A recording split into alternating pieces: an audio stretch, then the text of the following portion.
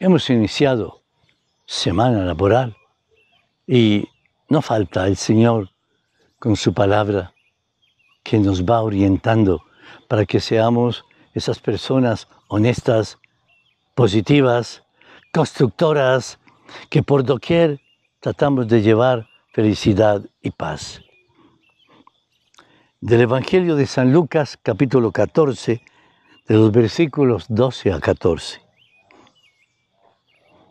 En aquel tiempo, Jesús dijo a uno de los fariseos principales que lo había invitado, cuando des una comida o una cena, no invites a tus amigos, ni a tus hermanos, ni a tus parientes, ni a los vecinos ricos, porque corresponderán invitándote y quedarás pagado.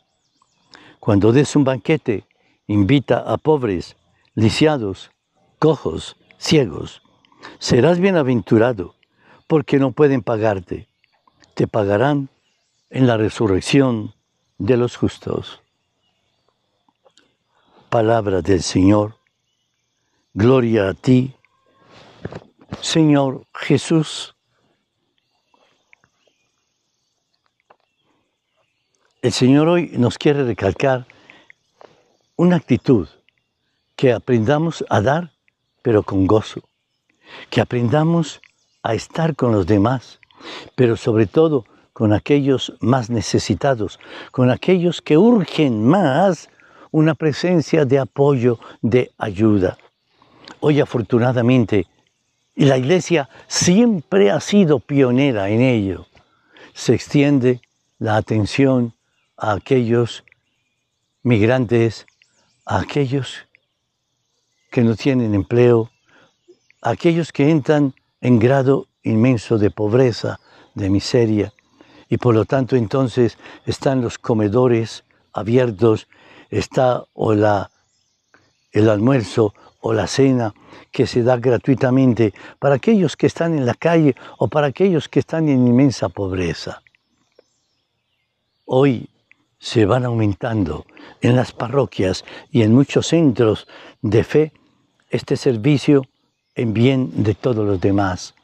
Basta ver cómo en las guerras siempre hay un sitio en el cual, a través de la fe, la iglesia va teniendo los llamados los comedores populares, o bien las ollas comunitarias, o bien aquellos sitios de acogida, para que nadie nadie se sienta ni marginado ni desechado del amor de Dios, porque lo más importante es que todo esto se hace en nombre de Dios, tratando de vivir el amor de Jesús con los más necesitados, con aquellos que Él siempre prefirió.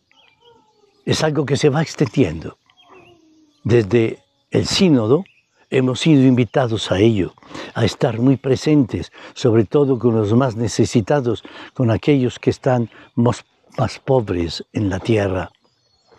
Gracias Señor, porque a través de tu amor nos invitas a amar, porque nos vas llevando de tu mano para darnos siempre tu misericordia y tu gracia en el servicio al más pobre y necesitado nos bendiga el Señor en el nombre del Padre, del Hijo y del Espíritu Santo. Amén.